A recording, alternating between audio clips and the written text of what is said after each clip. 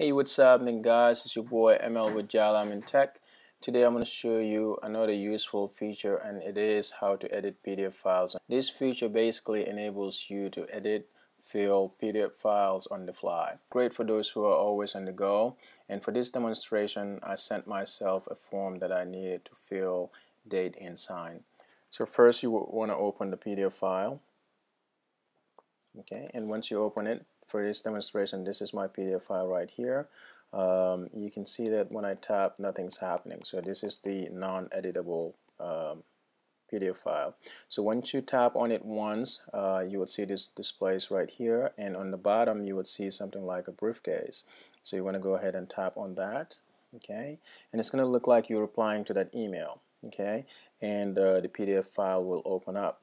So what you want to do is uh, you can just tap in the respective fields and your keyboard will appear and you can basically type in whatever you want to type in um, in, in the respective forms like that. And uh, another thing that I really like about this feature is um, you can also save your signature um, for future use. So let's say, uh, I got my signature saved right here. I can add or remove signatures. Okay so really great uh, when I'm on the fly I don't have to sign with my hand. I can just basically tap on my signature tab and do this resize it and take it to wherever I want to take it like that. Okay I can also date and do everything that I want to do.